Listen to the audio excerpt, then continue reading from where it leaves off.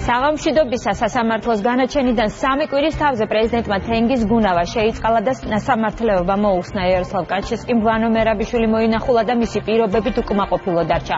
პრემიერმა კი ახალ წლამდე თანამდებობიდან წასვლის განცხადებით საზოგადოებას კიდევ ერთხელ მსჯელობის თემა მისცა. ამ თემებზე გადაცემის მეორე ნაწილში სტუმრებთან ერთად ვიმსჯელებთ, მანამდე კი რატომ გრძელდება დევნილთა მხრიდან ფართების დაკავება, როგორია მათი მდგომარეობა ახალი ხელისუფლების მოსვლიდან 9 თვის თავზე და გავხდება თუ არა 1500 ლარზე მეტი შემოსავლის მქონე დევნილებისთვის 28 ლარიანი დახმარება დევნილთა და განსახლების მინისტრი დავით არახველიძე იქნება გადაცემის პირველი ნაწილის სტუმარი. თქვენ უყურებთ არგუმენტებს და მე თეა სიჭინავა ვარ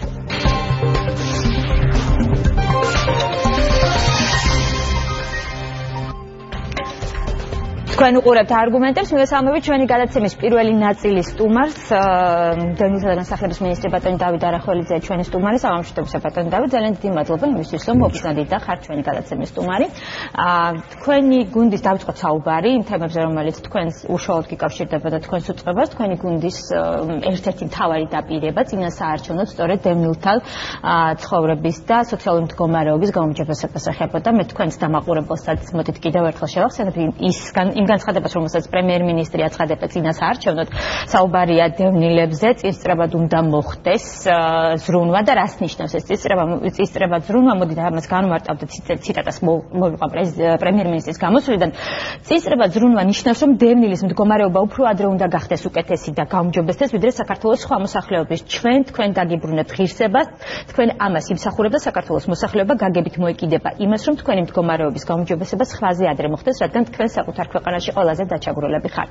მე მინდა კითხოთ, რა გაკეთდა იმისთვის, ბატონ დავით, რომ ეს დაპირება რეალობასთან იყოს უფრო ახლოს? კი პასუხებთ. საღამოშვიდობისა მესალმები მაყურებელს შენიშნა უნდა მოგცეთ თქვენს ნებართვით თქვენ ბძანეთ რომ გრძელდება დევნილთა მიერ ფართების დაკავება. ასეთ რამე არ ხდება. თქვენ თუ დღეს წინ ხდებოდა სოციალურ დაუცველებს მათ შორის დევნილებიც იყვნენ არა არ იყვნენ დევნილები? არ იყვნენ დევნილები, ეს იყვნენ ეგრეთ წოდებული სოციალურად დაუცველები. კი ბატონო. ეგრეთ წოდებულს ვამბობ, იმიტომ რომ ისინი თავს ასე უწოდებენ და მათ გარკვეულ ნაწილს არ აქვს სტატუსი სოციალურად დაუცველისა, ხოლო რამდენიმე მათგანს ჰქონდა სტატუსი, მაგრამ არა სიღარიბის ზღვარს მიღმა. გასაგებია. თუმცა მოდით ისიც აღნიშნოთ რომ გარკვეულ პერიოდში იყო ესეთი ერთგვარი სერიებად გრძელდებოდა შენობების დაკავება არც არც უამისობა იქნება ბატონ დავით ხო ეს ეთახებით და ეს არის ზუსტად მნიშვნელოვანი რადგან ჩვენ უნდა გავამახვილოთ ყურადღება როდესაც ახალი ხელისუფლება მოვიდა ხელისუფლებაში ასე ვთქვათ ოქტომბერში დაიწყო ეს კამპანია დიახ პროცესი და მის ამან პიქს მიაღწია გასული წლის ნოემბრის ბოლოს როდესაც დევნილები. აი მაშინ იყვნენ სულ დევნილები იჭრებოდნენ სხვადასხვა საკუთრების საცხოვრებელ პარტებში და ნოემბრის ბოლოსთვის მათ მარიცხვა მიაღწია 6000. დიახ. დღეს და იყო 53 ობიექტი. სამწუხაროდ დღეს ისე რჩება დაახლოებით 12-მდე ობიექტი, სადაც იმდროინდელი დევნილები კიდე იმყოფებიან. და მათი რაოდენობა დაახლოებით 400-დან 500-მდე მერყევს. ანუ ამ რაოდენობით შემცირდა. სამწუხაროდ გაიზარდა იმ ადამიანების რიცხვი, ვინც ჩვენ ვახსენეთ, ანუ ვინც თავის თავს უწოდებს სოციალურად დაუცველს და გააქტიურდნენ ისინი ბოლო დროს დაიწყეს სხვადასხვა შენობების დაკავება. ერთი ასეთი შემთხვევა იყო უბრალოდ ერთი ასე ვთქვათ გააქტიურებული შემთხვევა იყო გუში, როდესაც ერთ-ერთი სკოლის შენობის დაკავება მოუწიათ მათ. მათ შორის რვა მართლაც უკიდურესად გაჭირებული ოჯახი ჯანდაცვის სამინისტრომ გადაიყვანა და ბინავა ასე ვთქვათ ადაპტირებულ ფარტში, ოჯახში. ხოლო დანარჩენები დღევანდელი საღამოს მდგომარეობით დაუბრუნდნენ თავიანთ საცხოვრებელ ადგილებს, ანუ მათ საცხოვრებელი ჰქონდათ. ამის შესახებ მე საუბრობდი. რომ ეს რატო ხდება ასეთ შემთხვევებად ამ სამწუხაროა, მაგრამ უნდა გითხრათ, რომ ხდება ასეთი შემთხვევები და ძალიან ბევრი ადამიანი სარგებლობს, ან ცდილობს ისარგებლოს ახალი ხელისუფლების ლოიალური შეიძლება ითქვას, ან უფრო თუ გულთბილი დამოკიდებულებით და ზოგჯერ საზოგადოების ამ ამ ნაწილის მდგომარეობის გაზიარებით ასე ვთქვათ ბროტად სარგებლობს. მოდით ეს გულთბილი დამოკიდებულება დაგვანახეთ უფრო კონკრეტულად. მე თავიდანვე ვამბობდი და ეხლაც იმაზრზე ვარ რომ ნებისმიერი თვითნებობა და სახელმწიფო საკუთრების თუ კერძო საკუთრების ფართის არამარტო მიერ დაკება ეს არის კანონის დაღვა რომელიც ისჯება სისხლის სამართლებრივი პასუხისგებლობით. თუმცა ხელისუფლებას ასეთი რამ განვლილი 9 თვის მანძილზე არავის მიმართ არ გამოუყენებია. მათ შორის ჩვენ უფრო მეტად გვაქვს შეხება ასეთ საკითხებთან, ჩვენ მოგვიწია 7-8 ობიექტის გამოთავისუფლება, ანუ დაცლა იქ შეჭრილი ადამიანებისგან და თქვენ და ვერც ვერავინ ვერ იტყვის ერთ ფაქტს, მათ შორის ვერც გუშინდელ შემთხვევაში რომ ვინმე შეემჩნია რაიმე უხეშობა ან ზალადობა ან საერთოდ ძალის გამოყენება. ანუ ფორმები შეიცვალა? რა თქმა უნდა, მას მეორეს მხრივ გარდაუვალი იყო თქვათ ობიექტების სახელმწიფო პროგრამის მიხედვით გათვალისწინებულია დევნილებისათვის, სარეაბილიტაციო და მათი გზელვადიანი განსახლებისათვის ამ დროს დაიწყო კამპანია ასეთ ობიექტებს შეჭრებიან ადამიანები, რომლებიც თავის თავს უწოდებენ სოციალურად დაუცველს და ყველა პროცედურა, რომელიც აქამდე მოვიდა, იშლება, იმიტომ რომ კომპანია სამშენებლო ვერ ახერხებს საწარმოს სამშენებლო სამუშაოები. აფთხილებენ 10 დღით ადრე პოლიცია და გუშინდელი შემთხვევა რომ როგორც გადაიცა და გაშუქდა ტელევიზიით ალბათ არავის არ უნახავს იქ რომ ვინმე ვინმე შეეხო. ცოტა რაღაც გათამაშებულს გავდა აი რა რა სწორედ მაგისკენ მინდა თქვენი ესე ვთქვათ გავამეხო თქვენ ყურადღებას თქვენგან უფრო მეტი კონკრეტიკა.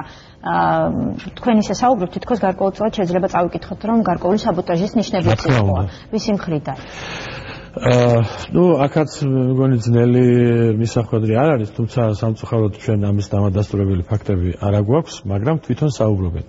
დღეს ეს გრომარებით რუსთავში არის ასევე დაკავებული სამი ჩვენი ობიექტი, სადაც ვერ ვახერხებთ სამშენებლო სამუშაოების დაწყებას.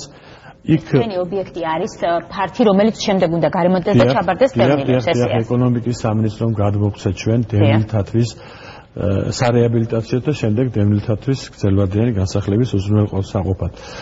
ერთ-ერთი ასეთი არის ძალიან დიდი შენობა, ეს არის ყოფილი ტექნიკური უნივერსიტეტის შენობა, 4 სართულიანი, სადაც მართლაც იყო ბოლო დროს 7 ადამიანი, რომელიც ითხოვდა რომ ითხოვდა გარანტიას რომ თქვა ფინანს იქ მისცემდნენ და როდესაც გააფრთხილეს და იმ 7 ადამიანის გამოსასახლებლად მივიდა ჩვენი წარმომადგენლები და პოლიციის წარმომადგენლები წესრიგის დასაცავად იქ აღმოჩნდა 53 ოჯახი ბავშვები და ქალები. თუმცა ისინი ღიად ამბობდნენ რომ ეს ადამიანები ამ აქ დაამისამართა რუსთავის მერია. ანუ მერია ეწეოდა საბოტაჟს. დიახ. კარგი. ეს გასაგებია ეს ნაწილი, იმიტომ რომ საბოტაჟზე მუდმივად ხდება საუბარი. მოდით გადავიდეთ კონკრეტიკაზე. ეხლა მოდით მე ცოტა უფრო განვაზოგადებ ამ კითხვას, რომ თქვენ უფრო მეტი ინფორმაცია მოგვაწოდოთ. აა მართალია თქვენ რაღაც ერთგვარი შენიშვნა გააკეთეთ იმასთან დაკავშირებით რომ დევნილების მხრიდან ფართების დაკავება აღარ ხდება მაგრამ ხდებოდა მოდით ეს ხდებოდა. აა არ დავივიწყოთ ეს მომენტი. თუ კი ამ ნაწილს გავითვალისწინებთ გავითვალისწინებთ დევნილთა ერთი ნაწილის უკმაყოფილებას გვახსოვს ბათუმში როდესაც ისინი ლამობდნენ პრემიერ-მინისტრთან შეხვედრას და შემდეგ პრემიერ-მინისტრს გარკვეულწილად ბოდიშების მოხდათ ბოდიშის მოხდათ მოუწია დევნილთა ერთი ნაწილისთვის რომ ესე ჩქარავე ეხდება მათი მოთხოვნების და უკმაყოფილება თუ კი გავითვალისწინებთ იმასაც რომ დღის წესრიგში მოდით თქვა დღეს და ხვალ არ დგას დევნილთა სოციალური დახმარების, ფულადი დახმარების გაზრდა, ჯერ კიდევ 28 ლარზეა საუბარი. შეიძლება საზოგადოების რაღაც ნაწილს მართლაც დასჭეს შთაბეჭდილება, რომ ამ ხრივ გარკვეული პროგრესი არ არის. თქვენ ამბობთ რომ არის. მოდით დაგვანახეთ ეს პროგრესი კონკრეტულად. ჯერ შეგიკითხეთ, თქვენ დევნილი ხომ ბზანდეთ? დიახ, მე დევნილი ვარ. 9 თვეა ჩვენ მოვედით და თქვენ არ დაინტერესებულ ხართ დევნილთა პრობლემებით და ეხლა მისვავთ იმ შეკითხვას, რომელიც შეიძლება 9 წლის წინ 9 თვის წინ დასმულიყო. ობიექტურია და ვინტერესებულ ვარ. მე თქვენს გადაცემაში არ ყოფილი ვარ არასოდეს. თქვენი და დებატებში მონაწილეობას? რატომაც დებატებში მონაწილეობას. დენილთა საკითხებზე ჩვენ მუდმივად ვამახვილებთ ყურადღებას, მარტო თქვენი ხელისუფლებაში ხალხს, ვადენებ. მუდმივად, როდესაც ეს საკითხი აქტუალურია. მე როგორც დენილი პირველ რიგში ამ საკითხით ძალიან ხშირად ვინტერესებ ბატონო დავით. ხარვეზები აღმოვაჩინე. ეხლა გიპასუხე. კი ბატონო, გიპასუხეთ. მე რა თქმა უნდა შორს ვარ იმასდისგან, რომ დენილთა საკითხები ძალიან წინ წაიწია და ჩვენ აღარა გვაქვს პრობლემები.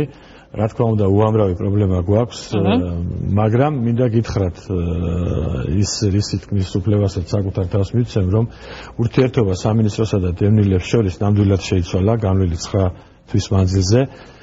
მე ამის შესახებ ვისაუბრე ჩემს პრესკონფერენციაზედაც, როდესაც შევაჯამეთ მიმდინარე წლის 6 თვის შედეგები. ნდობის ხარისხმა მოიმატა. მე ვერ ვიტყვი რომ აბსოლუტური ნდობაა, მაგრამ ნდობის ხარისხმა მოიმატა. ჩვენ გამოვნახეთ საერთო ენა და ამითაა განპირობებული ის, რომ დევნილები ფართებს არ იკავებენ. ანუ თქვენ ახსენეთ საბოტაჟი და საბოტაჟის თვის გათვლილი იყვნენ დევნილები დასაწყისში, მაგრამ იმ ძალებმა ვისაც ეს უნდა და ვერ შეძლო. დევნილების ჩართვა ამ საკითხში, ამიტომ გადაინაცვლა ეგრეთ წოდებულ სოციალურად შეჭირებულებს.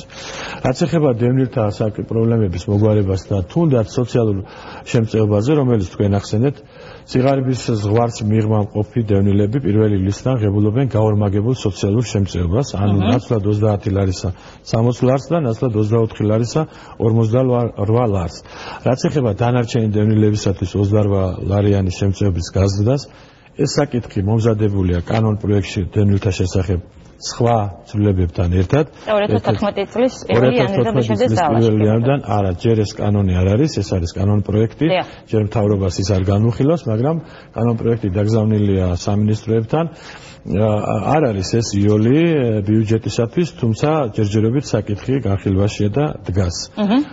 და ჩვენ ვცდილობთ, რომ ის გახდეს კანონი და პირველი იანვრიდან გაიზარდოს დევნილთა შემწეობა. ეს არ ნიშნავს, რომ ნამდვილად ასე მოხდება, მაგრამ ამის სურვილი, მცდელობა არის და ჩვენ კი ბატონო 28 ლარს მოდი ცოტა უფრო მოგვიანებით დაუბრუნოთ, იმიტომ რომ მე მგონი პირველი რიგის პრობლემა და პირველი რიგის ინტერესი წარმოადგენს სწორედ იმ დევნილების ფართით დაკმაყოფილება, რომელსაც წლების განმავლობაში არ ქონიათ. აქ რამდენიმე საკითხია. პირველ რიგში ალბათ დავინტერესდები იმით, რომ თქვენ საუბრობთ, რომ დევნილებს საცხოვრებელი ფართების დაკმაყოფილების განცხადებით მომართვის შესაძლებლობა აქვთ და აა დაიწყო უკვე პროცესი, რომ დევნილები წერენ განცხადებას განცხადებებს მათ ვისაც არ გააჩნიათ განცხადებებს არ წერენ. აღარ წერენ განცხადებებს. ეს კიდევ ერთი შენიშვნა აბა როგორ მოგმართავენ როდესაც მათ აი ახლა ამის შემდეგ ეცოდინებათ კი ბატონო, იმიტომ რომ წლების განმავლობაში ესეთი პრაქტიკა იყო, რომ სამინისტროს ჰქონდა ესეთი განაცხადი, რომ დევნილებს უნდა მიემართათ განცხადებით ფართის დაკმაყოფილების შესახებ. თქვენ რა პრაქტიკა დანერგეთ? გეტყვით და დევნილებ ეს პრაქტიკა ძალიან ესეთი უშედეგო აღმოჩნდა და თქვენ დევნილები დღესაც ხელით ატარებენ იმ განცხადებების ნომრებს და ამბობენ, რომ ამდენი განცხადებით მიმართე და არაფერი არ გამოვიდა. წარსეთი არ დიდი ნაწილი ყოველ შემთხვევაში მე როგორც ვიცი არ არის დაკმაყოფილი. აა დიახ, მართალი ხართ, 2/13 არ არის დაკმაყოფილი. ყოფილებული ჩვენ ყავს 90000 დევნილი ოჯახი. აქედან სახელმწიფოს მიერ დაკმაყოფილებულია 30000-ზე ცოტა მეტი. 25000-მა მიიღო საცხოვრებელი ფართი თუმცა მათ შორისაც არიან უკმაყოფილებები ვისაც ეს ფართი აღარ აკმაყოფილებს სივიწროვის გამო და 5200-ზე ცოტა მეტმა მიიღო ფულადი კომპენსაცია ფართის ნაცვლად თავისი სურვილის შესაბამისად. და მათ შორის არიან ბათუმში ის დევნილები რომლებიც თქვენ ახსენეთ რომლებიც ხშირად ხდებიან პრემიერს ეს შპილად ვთქვათ და თქვენს მონამორჩილსაც და თბილისში არის სასტუმრო აფხაზეთის პრობლემა და ეს პრობლემა არის. თუმცა იმ ბათუმის დევნილებმაც იციან, მათთვის მე არაერთხელ განმიმარტავს და აფხაზეთის სასტუმროს დევნილებმაც, რომ მათ გვერდით და ჩვენს ქვეყანაში არსებობს 60000 კიდევ ოჯახი, რომლებსაც ჯერ არაფერი არ მიუღია გარდა 28 ლარისა, რომელიც ადრე 14 ლარი იყო, უფრო ადრე 7 ლარი. და ახალი ხელისუფლების ძირითადი საზრუნავი და ახალი სტრატეგია და პოლიტიკა დევნილებთან მიმართებაში გულისხმობს პირველ რიგში მათ საცხოვრებელი პირობების უზრუნველყოფას. ეხლა გადავარ კონკრეტულად რა გავაკეთეთ და რა გეგმები. განვლილი პერიოდის მანძილზე ჩვენ უკვე 552 ოჯახს მივეცით გრძელვადიანი საცხოვრებელი ფართი. დიახ. და პროცესი გრძელდება წლის ბოლომდე ეს რამდენიმე ჯერ გაიზრდება. მათ შორის ამ 552-ში 29-ს ინდივიდუალურად, ანუ არაკორპუსში. და აქედან 11-ს სოფლად, რაც ძალიან მნიშვნელოვანია და მე არ უშვებ შემთხვევას, რომ აა მივაწოდა მათ ინფორმაცია იმის თაობაზე, რომ თუ დევნილები, ვისაც არასოდეს არ მიუღია დინა, ოძებნიან სოფელში საცხოვრებლად საკარმიდამო ნაკვეთით, რომლის ღირებულება იქნება იმ ფარგლებში, რაც ჩვენ ისედაც გვიჯდება ერთი საცხოვრებელი ბინის შექმნა დაახლოებით რამდენია შეიძლება? 7-8000 დოლარის ფარგლებში. ასეთ შემთხვევაში ჩვენ მათ შეუძენთ სოფელში სახს თავის საკარმიდამო ნაკვეთით და ეს გარკვეულწილად დასაქმებისკენაც იქნება მიმართული. ბატონო, ერთ ერთ აქვე რადგანაც ამაზე საუბრობთ უკვე ტერიტორიებთან დაკავშირებით, ერთ-ერთი პრობლემა სხვათა შორის წინა ხელისუფლების პერიოდში, როდესაც დევნილების განსახლების საკითხი იდგა დღის წესრიგში, მაშინ ძალიან დიდი ხმაური იყო იმასთან დაკავშირებით, რომ დევნილებს არ აძლევდნენ საშუალებას დარჩენილი იყვნენ იქ, სადაც წლების განმავლობაში მათ ადაპტაცია გაიარეს. ეხლა როგორ ხდება? ადამიანებს აქვთ უფლება დარჩნენ იქ, სადაც 20 წლის განმავლობაში განმავლობაში ბოლო 20 წელია ცხოვრობენ, აი მაგალითად დედაქალაქში ან სხვა ქალაქებში. დიახ, ეხლა არის იმის საწინააღმდეგოდ, როგორც თქვენ თქვით. ესეც არ არის ახალი. დიდი ხანია ჩვენ განვაცხადეთ, რომ ჩვენ დენილებს უზრუნველყოფთ იქ, სადაც ისინი ცხოვრობენ და სადაც ისინი არიან ინტეგრირებული.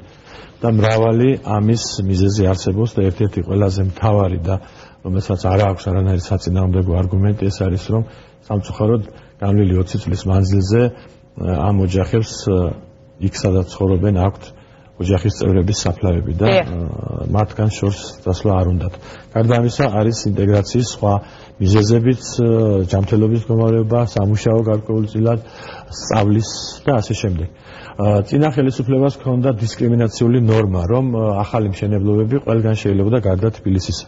ჩვენ შევცვალეთ ეს, ამოვიღეთ ეს შეზღუდვა და მთავრობამ ხარი დაუჭირა იმას, რომ 20000 დევნილი ოჯახი რომელიც ცხოვრობს დედაქალაქ თბილისში და რომელსაც არ მეუღია 20 წლის მანძილზე ბინა უახლოეს მომავალში თბილისში მიიღებს საცხოვრებელ ბინებს მათ შორის ახალი მშენებლობების ხარჯზე და ასეთი ერთ-ერთი მსხვილი პროექტი ამისათვის ჩვენ გადმოგვეცა უკვე თბილისში 18 ჰექტარი მიწის ფართობი 3 სხვა 4 სხვადასხვა ნაკვეთად რომელზედაც მიმდინარეობს დაპროექტება ინტენსიურად. აქედან ერთ-ერთი არის 6 ჰექტარი ვარკეთილის დასახლებაში, სადაც 5000-მა ოჯახმა უნდა მიიღოს ბინა ახალ მშენებლობის შედეგად. ეს კატეგორიები გითხარით ამ 200000-ში ოჯახში, რომელი ვინ შედის?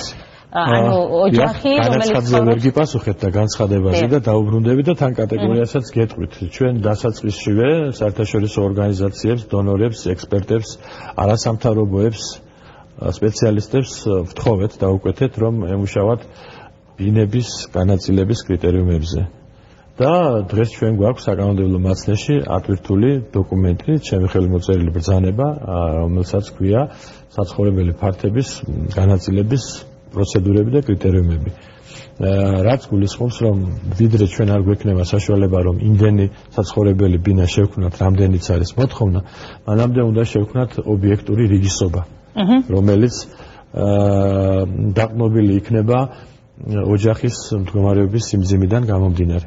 ამისათვის დევნილები განცხადებებს აღარ წერენ და დევნილები იქ სადაც ამის წინაპირობებია, ანუ მზადდება საცხოვრებელი ბინები, 2-3 თვით ადრე იწყებენ განაცხადების ჩაბარებას. განაცხადი ეს არის სპეციალური შედგენილი ფორმა ამ კრიტერიუმების შესაბამისად, რომელიც პასუხს იძლევა დაახლოებით 20-ზე მეტ კითხვაზე და ამ შემთხვევაში აისახება ოჯახის სრული მდგომარეობა მისი სოციალურ-ეკონომიკური ყოფის შესახებ და ფასდება ქულათა სისტემით. დაახლოებით ისე როგორც ამას აკეთებს სოციალური სამსახურის სტატუსის მინიჭების დროს. კი ბატონო. გათვალისწინებულია ყველა ვარიანტი, ყველა სცენარი, ასე ვთქვათ, ოჯახის მდგომარეობის სამსახურელი. უპირველესად საცხოვრებელი პირობები. მათ შორის ისინიც, ვინც მაგალითად ცხოვრობენ კომპაქტურად ჩასახლებულები არიან, მაგრამ წლების განმავლობაში არიან, მაგრამ სათანადო პირობები არ აქვს საცხოვრებელი. ზოგჯერ პირიქითაც არის, აქამდე მეტი ყურადღება ექცეოდა, უბრალოდ ყურადღება ექცეოდა მხოლოდ კომპაქტურ ჩასახლებებს და მიმდინარეობდა საქმიანობა ამ მიმართულებით, რომ ჩასახლებები დახურულიყო და ნახევარი მართლაც დაიხურა. ხო, საერთოდ მიტოვებული იყო კერძო სექტორის ეგრეთ წოდებული დევნილები, რომლებიც გარდა იმისა, რომ არ აქვს სახლი, ცხოვრობენ ნაკირეებში და იხდიან ბინის ქირას. ხოლო კომპაქტურში მაცხოვრებლები არ იხდიან ბინის ქირას და მათ სახელმწიფო უხდის ამავე დროს კომუნალურ გადასახადებს. ეს გარკვეულწილად არათანაბარ მდგომარეობაში აყენებდა დევნილებს და ჩვენ იმის საფუძველზე რომ მოსვლისთანავე შემოვიღეთ მიღების დღეები, ეს დღე დღესაც გრძელდება. კვირაში 5 დღე, ორშაბათის გარდა ყველა დღე არის დევნილთა მიღების დღე. აქედან ერთ-ერთი არის ჩემი სამშაბათი დღე. მთელი დღის მანძილზე და ახლობებით 12 საათიდან სანამ არ დამთავრდება ნაკადი, ვღებულობ ხვდები დევნილებს. ასეთნაირად ჩვენ მე ჩემს მოადგილეებთან ერთად უკვე შევხვდით 10000-ზე მეტ დევნილს. შესაბამისად ჩვენთვის ზუსტად არის ცნობილი მათი საჭიროებები და ამ რაოდენობაში 80% მოდიოდა კერძო სექტორის დევნილი და ისინი სწავლდნენ საკითხს. ამიტომ ჩვენ გავათანაბრეთ დამოკიდებულება არ აქვს მნიშვნელობა დევნილი ცხოვრობს კერძო სექტორში თუ კომპაქტურ ჩასახლებაში თუ მისი საყოფა ცხოვრება პირობები არის მძიმე ის კრიტერიუმები შესაბამისად მიიღეს მაღალ ქულას და შესაბამისად რიგში იქნება წინ გასაგებია. აა გასაგებია ეხლა ამ შემთხვევაში იმ ადამიანების მდგომარეობა, მაგრამ სამართლიანობაც მოითხოვს ალბათ კითხოთ იმ ადამიანების სახელითაც, ვისაც ბინის პრობლემა არა აქვს ამ შემთხვევაში, მაგრამ სახელმწიფო თუ ფიქრობს ასეთი სახის დევნილებზე და რას ფიქრობს? სახელმწიფო რა თქმა უნდა ფიქრობს ასეთი სახის დევნილებზე, თუმცა პრობლემა რომელზედაც მე გითხარით და 60000 ოჯახია სულ აქედან 35-დან 40000-მდე მწვავე რომელთაც აღარ შეუძლიათ უკვე გაძლება უბინაოდ, ჯერ სახელმწიფო ფიქრობს ამ პრობლემის დასაძლევად. ხოლო ისინი, ვისაც ბინა აქვს, მაგრამ აქვს პრობლემა ბუნებრივია იმის გამო, რომ არის დევნილი და აქ ძირითადი პრობლემა არის შემოსავლის წყარო. დიახ. სამსახური. დიახ, სამსახური. შემდეგ მოდის ჯანმრთელობის პრობლემა და დევნილების ძალიან დიდ ნაწილს აქვს ფსიქოლოგიური პრობლემები უკვე და ჩვენ ამაზე და სულმათა რამდენიმე პროგრამა შემუშავდა იმისათვის რომ გარკვეული ფსიქოლოგიური რეაბილიტაცია გაიარონ დევნილებმა ასევე გვაქვს პროექტი საერთაშორისო დონორი ორგანიზაციების დახმარებით დევნილთა შემოსავლის წყაროებზე მიმდინარე წელს და მისი დაფინანსება დაიწყება შემოდგომისთვის 5 მილიონი ევრო და 2 მილიონი დოლარი ევროკავშირიდან და სოფლიო ბანკის დაფინანსება, რომელიც დააფინანსებს დევნილთა მიკრო და მცირე პროექტებს, ბიზნეს პროექტებს. ასევე შესაძლებელია საშუალო მასშტაბის თქვათ გადამამუშავებელი საწარმოების შექმნაც სოფლის მეურნეობის სამინისტროს პროგრამასთან თანხვედრაში 100 საწარმოს ფარგლებში იქ სადაც დევნილთა კომპაქტური და მასიური ჩასახლებებია და მე გასულ შაბათ-კვირას შემოვიარე ასეთი ჩასახლებები სამეგრელოს რეგიონში, მათ შორის ფოცხოეცერში, სადაც თხოვეს რომ შესაძლებელია თქვა განხილული იქნას ეფრინელობის რაღაცა საამქროს შექმნა სასათბურე მეურნეობის. ასევე სენაკში არის ძალიან დიდი ჩასახლება 550 ოჯახი ცხოვრობს და იქ შეიძლება საშუალო ზომის საწარმო შეიქმნას რომელსაც ეყოლება სერიოზული ასე ვთქვათ მენეჯმენტი და დასაქმდება რამდენიმე ასეული დევნილიც. და ეს იქნება მათი შემოსავლის წყაროები. თუმცა ეს თლიან კონტინგენტს დევნილთას ვერ მოიცავს და ეს უნდა გადაწყდეს დასაქმების და შემოსავლის წყაროების თემა მთლიანად ქვეყანაში დასაქმების პრობლემასთან ერთად. და ამ მიმართულებით სერიოზული მუშაობა არის დაგეგმილი და მიმდინარეობს იგივე სოფლის მეურნეობის სამინისტროს მიერ და ეკონომიკის სამინისტროს მიერ იგეგმება სერიოზული პროექტები. ამ მიმართულებით დევნილები საკმაოდ აქტიურნი არიან თუმცა ზოგი მათ არ მიიჩნევს აქტიურად. ზოგი თვლის რომ ისინი აუცილებლად უნდა გადამზადდნენ ეს არავისთვის არ არის ზედმეტი. თუმცა დღესაც ძალიან მრავალი დევნილი ფლობს მრავალ პროფესიას და დევნილებს ზოგჯერ მოიხსენებენ მხოლოდ დევნილად და ბევრს არ იცდება რომ დევნილებს შორის არიან ექიმებიც, პედაგოგებიც, ინჟინრებიც, სამეცნიერო ხარისხის მატარებელი ადამიანებიც და ყველა კატეგორია ჩვენი საზოგადოებისა. სამწუხაროდ ბედმა მათ ესეთი ძიმე ხვედრი არ გუნა. ისინი ჩაერთვებიან აქტიურად და სადაც შესაძლებელია დღესაც არიან ჩართული შრომის ბაზარზე და თლიანობაში სხვა დანარჩენ საზოგადოებასთან ერთად გადაწყდება. კი ბატონო, ეხა იმ საკითხს დაუბრუნდეთ, რომელსაც თქვენ შეეხეთ 28 ლარიან დახმარებას, რადგანაც 2014 წლის 1 იანვრიდან კანონ პროექტის ინიცირება მოხდება. აა მოდით უფრო ცოტა დეტალურად რო გითხრათ, იმიტომ რომ სწორედ ამ დახმარების გაზრდა იყო ერთ-ერთი დაპირებაც წინასაარჩევნო, აქედან გამომდინარე, როგორ გესახებათ, რამდენი უნდა იყოს ეს? 60 ლარი, რომელიც მაგალითად სოციალურ დაუწყებელებს არა, სამწუხაროდ, სამწუხაროდ პროექტი მაგდენს არ ითვალისწინებს მე თარკომა დევნილებ აიციან, მაგრამ თქვენის ნებართვით თან შევიკავებ ციფრის დასახელებისგან, იმიტომ რომ ჯერ მაინც კანონ პროექტია და შემდეგ ეს რომ ზუსტად ისე არ გამოვიდეს, ბუნებრივი ამ ძელობას დაექვემდებარება და შესაძლებელია შეიცვალოს ორივე მიმართულებით, ან ზრდის მიმართულებით, ან კლების მიმართულებით, ამიტომ არ მინდა სრომოლოდინი შევქნა, მაგრამ ჩვენ გვაქვს რამდენიმე ახალი მიდგომა ამასთან დაკავშირებით და ერთ-ერთი არის ის რომ ბოლომდე გათანაბრდეს დევნილთა მდგომარეობა, ანუ კომპაქტურ ჩასახლებაში სადაც სახელმწიფო 28 ლარის ნაცვლად იხდის 22 ლარს. მაგრამ დევნილებს უხდის კომუნალურ გადასახადებს. აა განვლილი დროის მანძილზე ჩემი დაკვირებით და ჩემი მეგობრების და კოლეგების დაკვირებით ამან გარკვეულად ცუდი მიმართულებით წაიყვანა საქმე და არის სალკეული დევნილი ოჯახები რომლებიც მთლიანად ცდილობენ რომ სახელმწიფოსგან მოითხოვონ ყველაფერი და გარკვეულად დამოუკიდებლობის ხარისხი მათი არის შემცირებული. ამიტომ ჩვენ გვინდა რომ ის კომუნალური გადასახადები, კომუნალური შემწეობის ნაწილიც და შემდეგ ელექტროენერგიის ლიმიტის ღირებულება, რომელიც მათ ეძლებათ უფასოდ, ნაგვის გადასახადი, სხვა სხვა შეღავათებიც აქვს კომპაქტურ ჩასახლებებს და განსაკუთრებით თბილისში, ყველა ეს გადაეცეს მათ ფულადის სახით. კიდევ დაემატოს სხვა რაოდენობაც გარკვეული რაოდენობა თანხისა იმისათვის რომ მარტო ამით არ გაიზარდოს დევნილი შემწეობა და ინდივიდუალური გამრიცხვანი გამრიცხველიანების პირობებში ელექტროენერგიის მოხმარებაზე გაზზეც ასე არის ინდივიდუალური გამრიცხველიანება არსებობს. მათ თვითონ თვალონ თავიანთი ხარჯები. ანუ ერთი რამე თქვა შეგიძლიათ. აა პირველი იანვრიდან მას შემდეგ რაც მოხდება ინიცირება ამ კანონის პროექტის სოციალური დახმარება არ იქნება კი ბატონო ოღონდ პირველი იანვრიდან გვაქვს რომ ის შევიდეს ზალაში როგორც კანონი. პირველი იანვრიდან შეიძლება ითქვას რომ 28 ლარი არ იქნება ეს. არ უნდა იქნეს უნდა იქნეს გაცილებით მეტი. გასაგებია. ეხლა ერთი პრობლემატური საკითხი, რომელიც ასევე მოითხოვს სამართლიანობა, რომელზე ვისაუბროთ. თქვენ განაცხადეთ, რომ 28 ლარიანი დახმარების, ესე რომ ვთქვათ, გადახედვა იმ ადამიანებისთვის, ვისაც მაგალითად 1500 ლარზე მეტი აქვს შემოსავალი. მე მსმენია მაგალითად ესეთი ადამიანებისგან მოსაზრება, რომ ეს ეს ერთგვარი, მოდი ასე ვთქვათ, დისკრიმინაციული მიდგომაა. ხუმარ შეუქმნის დაუშვათ ამ საკითხის გადახედვა.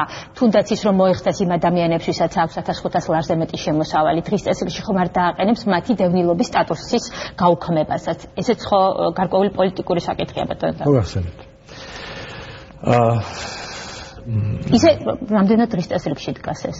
ეს არის მხოლოდ მოსაზრება ჯერჯერობით თუმცა ჩემში ეს მომწიფებული აზრია უკვე მე ამის შესახებ განვაცხადე გასული წლის ბოლოსაც მაგრამ ისევ არასწორი ასე ვთქვათ გაშუქების გამო მივიღე მწვავე უკუ რეაქცია მივიდნენ ჟურნალისტები ბაზრობებზე და დევნილ ქალბატონებს უთხრეს რომ მინისტრმა თქვა რომ ვინც მუშაობს მას შეუწყება დევნილის შემწება. მე ასე არ მithქვავს აა ეხლა ვთქვი დავასახელებ ციფრები რამდენი წარმატებული დევნილი ყავს 33000 დიახ ღებულობს ამავე დროს 28 ლარს.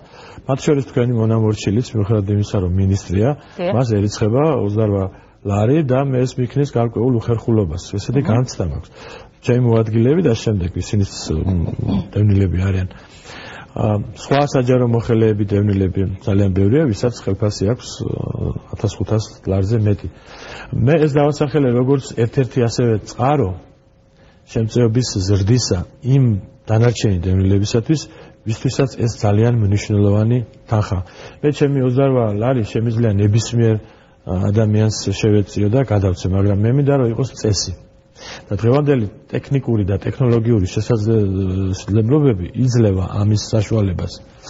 ვთქვათ, თუ ჩვენ შევთანხმდებით, რომ პერსონისთვის და არა ოჯახისთვის რომელიც არის წარმატებული ბიზნესმენი ან წარმატებული საჯარო მოხელე და მისი ყოველთვიური შემოსავალი აღემატება 1500 ლარს თუ შევთანხმდებით კიდევ ერთხელ ხალხს ეს შეთანხმება როგორ უნდა მოხდეს? ანუ პარლამენტი საბოლოო ჯამში ღებულობს. პარლამენტი რა თქმა უნდა მნიშვნელობა აქვს საზოგადოებრივი აზრს და პირველ რიგში დევნილი საზოგადოების აზრს. მე სხვათა შორის საკმაოდ კარგად ფლობ აქვს სიტუაციას და არ არის ერთგვაროვანი დამოკიდებულება. მათ შორის იმ ადამიანებში ვისაც აქვს 2000-ზე მეტი. მათ შორის საჯარო მოხელეებში. მათ შორის ხელმძღვანელ მუშაკებში და მე ეს გარკვეულად მაოცებს მიკვირს. როდესაც ისინი ძანებენ რომ კი 2000 ლარს ღებულობს, მაგრამ 28-ს არ არის ზედმეტი. და მე ასეთი დამოკიდებულება მაქვს, რა თქმა უნდა 28 ლარი არ არის ზედმეტი, სხვათა შორის ჩემი მეუღლეც ეფექტურად იყენებს ამ თანხას, თვითონაც და ჩემს 28 ლარსაც, მაგრამ მე ზოგადად მორალურ მხარეზე ვსაუბრობ იმისა, რომ როდესაც იმათ, ვინც მართლა დამოკიდებულებია, დამოკიდებულია ამ 28 ლარზე, თუ კი თუნდაც 2 ან 3 ლარით გაეზდება იმით თუ მე აღარ მივიღებ და ეს ადამიანები მაშინ ჩვენ მე მგონი უნდა ამ შეთანხმებაზე წავიდეთ. მოდით კიდევ ერთხელ დავკონკრეტეთ, თქვენ საუბრობთ იმ ადამიანებზე, რომლებიც არიან დასაქმებულები საჯარო სამსახურებში, ფიქსირებული ხელფასი აქვს და ასევე ბიზნესმენებზე, რომელთაც ასევე ფიქსირებული განაზღაურება. და არა იმ ადამიანებზე, რომლებიც შეიძლება თვეში ერთ თვეს კონდეთ დაუშვათ 1500 ლარი, შემოსავალი მეორე თვეს არ კონდეთ. ესე იგი მოწესრიგებული სამართლებრივი ფორმის ორგანიზაციაში ვინც მუშაობს, ეს შეიძლება იყოს ინდივიდუალური საწარმოც კი, მაგრამ იგულისხმება, რომ ასეთი ორგანიზაციები ვალდებული არიან ყოველთვიურად. ჩააბარონ საშემოსავლო დეკლარაცია. მთელი ორგანიზაციის. სამ ადგილზე რომ მუშაობდეს ადამიანი, ამ შემთხვევაში თუნდაც დევნილი, სამივე ორგანიზაციამ უნდა ჩააბაროს საშემოსავლო სამსახურს ეს დეკლარაცია და ეს აისახება ელექტრონულად ჯამდება და ძალიან მარტივია რომ ყოველთვიურად ამოიღო მონაცემი თქვათ ვინღებულოს 2000 ლარზე მეც. შესაბამისად მათ იმ თვეში შეუწყდეთ, შეუჩერდეთ დევნილის შემწეობა და ეს თანხა გადანაწილდეს დანარჩენზე. ასეთ შემთხვევაში 28 ლარი დავუშვათ ან 48 ლარი სიტყვაზე ვთქვათ, არ იქნება ფიქსირებული. ამა თუ იმ თვეში შეიძლება გახდეს 50, შეიძლება 59, იმის მიხედვით რა თანხა გამოთავისუფლდება. ყოველთვიურად შეიძლება ამის ამის რეგულირება. და ვთქვათ, დაკარგა სამსახური ან გაათავისუფლეს სამსახურიდან, მომენტალურად შემდეგ თვეში ისევ აღუდგება ეს დევილის შემძლეობა. და აქვე რო ვთქვათ, სტატუსთან დაკავშირებით ამას რა მეკავშირია? სტატუსთან დაკავშირებით ამას არანაირი კავშირი არ აქვს. ერთი ცნობილი პოლიტიკოსი, ეხლა და დევნილი ამავე დროს იურისტი გენერალი გამოვიდა ტელევიზიით და ისაუბრა. ტელეფონითაც არ დაურეკავს რომ ეკითხა ან შეფთვის ან სხვა ჩვენი თანამშრომლებისათვის. და პირდაპირ მენტორული ტონით მოგვიწოდა ტელევიზიიდან რომ ვაფრთხილებ ministrs და ურჩევ საქართველოს მთავრობას რომ არავითარ შემთხვევაში არ დაეთანხმოს ამ მოსაზრებას იმიტომ რომ ეს გამოიწვევს სტატუსის შეწყვეტას დევნილისათვის და ეს იქნება პრობლემური და ასე შემდეგ და ასე შემდეგ და მე უპასუხე მას ერთ-ერთი ტელევიზიის ეთერთან ეხლაც ვისარგებლებ რომ არანაირ სტატუსთან მიბმული ეს არ არის და საერთოდ სიტყვა მიბმა ამ შემთხვევაში უადგილოა საერთოდ დევნილის შემწეობა გამომდინარეობს დევნილის სტატუსიდან მაგრამ შემწეობის შეჩერების ან შეწყვეტის სხვადასხვა საფუძვლები არსებობს მათ შორის საზღვარგარეთ ორ თვეზე მეტი ვადით გასვლა. და ასეთი ჩვენი 10000 თანამემამულია დღეს მდგომარეობით. 9900 რაღაცა ვამგვალი 10000. კი ბატონო. ასევე დევნილის შეჩერების საფუძველია სოციალური დახმარების ნებაყოფილობით არჩევა და მიღება. და ასეთი 20000-ზე მეტი ყავს. ანუ დღევანდელ დღეს 30000-ზე მეტ დევნილს ისედაც შეჩერებული აქვს შემწეობა, მაგრამ არავითარ შემთხვევაში არ აქვს შეწყვეტილი და არც შეჩერებული სტატუსი. უნდა შევაჯამოთ. თუ ძალიან ცოტა დრო გრჩება და რეკლამა გვაქვს ეთერში, ამიტომ უახლოესი გეგმები და ის რაც თქვენი საუბრეთ, ანუ რა გაკეთდა და უახლოეს მომავალში რას უნდა ელოდნენ დევნილები პირველ რიგში. უახლოეს მომავალში დევნილები უნდა ელოდნენ პირველ რიგში საბინაო პრობლემების გადაწყვეტის გააქტიურებას. მიხით 20000 დედაქალაქში? 20000 დედაქალაქში და 20000 დანარჩენ საქართველოში ეს არის წვავე პრობლემა და ეს ჩვენ განვაცხადეთ უახლოესი 4 წლის მანძილზე. სამწუხაროდ გვაქვს ხელის შეშლა და ის რაც თქვენ მითხარით დასაწყისში, რომ ჩვენთვის გამოყოფილ ფაქტებში ჩვენ ვერ ვიწყებთ სამშენებლო სამშენებლო სამუშაოებს, ეს არის ხელის შეშლა ამ პროგრამისათვის. და ამიტომ ჩვენ ვართ კატეგორიული სამართლიანი, მაგრამ შეიძლება ზოგჯერ მკაცრი, როდესაც ვითხოვთ გამოთავისუფლებას ამ ობიექტებისგან და გუშინ იყო ასეთი ერთ-ერთი შემთხვევა. დღეს ეს დასრულებული არაფერი მას ექსესი არ მოყოლია, ყველა დაბრუნდა იქ, საიდანაც მოვიდა და დამატებით ვინას ითხოვდა თბილისში. მე გითხარით, რომ ინტენსიურად მიმდინარეობს საპროექტო სამუშაოები 5000 ბინაზე, გითხარით. ჩვენ ასე 4.7 ჰექტარი მიწის ფართობი გვაქვს წანისში, ფონიჭალის დასახლებაში, სადაც ასევე დაწყებულია დაპროექტება და 4.2 კვადრატული მიწის ფართობი დიღომში.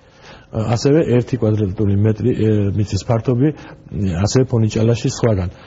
ეს მიწის ნაკვეთები თითქმის საკმარისია. სხვა დანარჩენ პროგრამებთან ერთად ობიექტების გამოსყიდვასთან. პროფკავშირი მაგალითად გვაძლევს 411 ოჯახს ჩვენ გვაძლევს მის შენობებს იმისათვის რომ მათ დაუკანონოთ ესეც აკლდება ამ რაოდენობას და ჩემს მიერ დასახელებული ასე ვთქვათ გეგმის შესაბამისად თბილისში ეს პრობლემა თითქმის დაძლეული იქნება. ასეთივე ბათუმში დღეს მიიღო სხვათაშორის ბათუმის საკრებულომ გადაწყვეტილება ჩვენთვის 6 ჰექტარი მიწის გამოყოფის თაობაზე და უახლოეს დღეებში, როდესაც მივიღებთ ამ დოკუმენტს, ჩვენ ასევე გამოაცხადებთ კონკურსს იქ პროექტირებაზე 6 ჰექტარზე ჩვენ გვინდა 30-მდე 9 სართულიანი კორპუსის შენება. ძალიან დიდი მადლობა ბატონი დავით არახველიძე იყო ჩვენი გადაცემის პირველი ნაწილის სტუმარი, წარმატებებს გისურვებთ ძალიან დიდი მადლობა მობრძანებისთვის. რეკლამა გვაქვს ეთერში და რეკლამის შემდეგ უკვე დღის მთავარ თემებზე ვიმსჯელებთ დებატების ფორმატში დაგველოდეთ ძალიან მალე დაუბრუნდებით.